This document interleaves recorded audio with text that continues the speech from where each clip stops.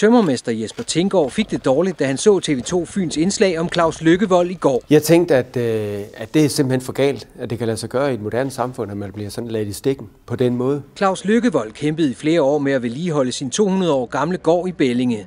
Men pengene slap op, og derfor søgte han om tilladelse til at rive den ned, så han kunne sælge gården til en køber, der vi opføre nybyggeri på grunden. Claus Lykkevold fik afslag, fordi Odense Kommune havde kategoriseret gården som bevaringsværdig. Gården endte på tvangsaktion, og Claus Lykkevold står tilbage med en kæmpe gæld. Den nye køber af gården fik til gengæld nedrivningstilladelsen, og det frustrerer Jesper Tinkgaard. Han har været menig mand, og nu er det et større firma, som har kunne få det til at sig gøre. Han har ikke haft ressourcerne til det. Det har de måske. Han har ikke haft know-how til det. Det har de haft. Og nu står han i den situation, hvor han har mistet sin livskraft, og han står med en kæmpe gæld. Derfor har Jesper Tinkgaard sat sig for at prøve at hjælpe Claus Lykkevold. Det kunne man gøre ved en, øh, en offentlig indsamling. Den prøver jeg at sætte i værk. Det er ejeren af et bevaringsværdigt hus, der skal sørge for vedligeholdelsen.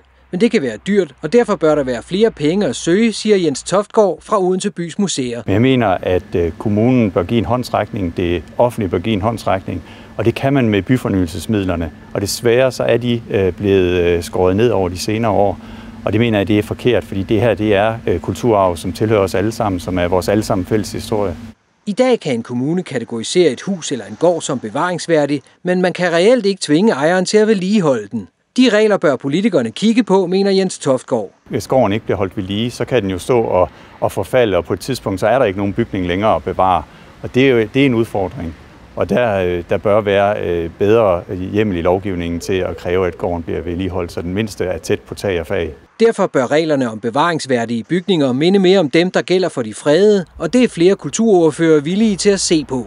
En mulighed er jo at sige, at de bevaringsværdige bygninger også skal være omfattet af de samme regler som, som fredede bygninger. Det kan også godt være, at det har nogle, nogle lidt utilsigtede øh, konsekvenser, øh, så vi må prøve at dykke ned i, hvad er det konkret, vi kan gøre, men, men jeg synes jo, den sag, som I også har fortalt øh, om, øh, viser jo meget godt, at der er en udfordring. Det er helt klart, det er jo tudetosset, at man som kommune siger, at det her hus eller den her bygning, den skal være øh, bevaringsværdig, og så har det ikke nogen konsekvenser, hvis ikke at øh, pågældende ejer lever op til det. Så kan man egentlig bare lade det forfalde, og så sker der ikke noget ved det. Det, det hænger jo ikke sammen. Det samme gør sig gældende i forhold til at søge om støtte til at vedligeholde bevaringsværdige bygninger. Det er nyt for mig, at, øh, at der ikke er, er, er penge nok. Øhm, så det må vi jo tage en drøftelse af øh, politisk, om, øh, om der er brug for flere penge, og i så fald, hvor vi, hvor vi vil kunne finde dem. Hvis jeg får muligheden for at, at få give et aftryk på finansloven, så er det helt klart noget, der er værd at tage med, fordi når man pålægger sådan en ejer et særligt ansvar, så har vi selvfølgelig også en forpligtelse til at,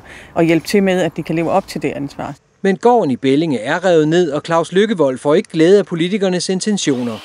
Derfor er tømmermester Tinggaard i fuld gang med at starte sin indsamling til fordel for Claus Lykkevold. Arbejder hårdt på det lige nu, øh, og håber på, at vi kommer i mål med det, og kan give ham en del af hans livskvalitet tilbage. Alle donationer vil være velkomne.